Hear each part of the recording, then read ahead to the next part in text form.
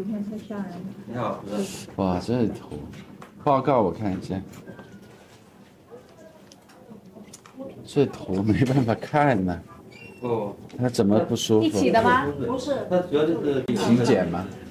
呃他是体检吗？不是体检是检查，为什么检查？它就就是有一段时间咳，咳得很厉害。咳得很厉害，是。然后就去检查了对哈对。对对。吃药了没有？呃，还没吃，就在这里，还没吃药。就这个看到吗？这里嗯，变白白的啊。嗯是。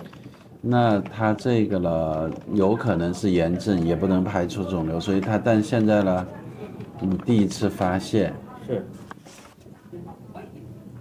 要不先吃一点消炎药，因为我这里是肯定有炎症的，这个就是炎症，看闪闪发的。炎的地方。先把药吃上，然后呢，过一个月复查，看看它能不能缩小消掉。哎。如果缩小消掉的话，就是炎症。不缩小不缩的话，嗯。我们就要做一个 PET CT 全身检查。哦，加强看看不是加强是派特。啊，，派特。看看是不是肿瘤。啊，然后能不能做手术还是药物治疗。所以等着给他开药，等着一切都检查完了，过一个月复查哈。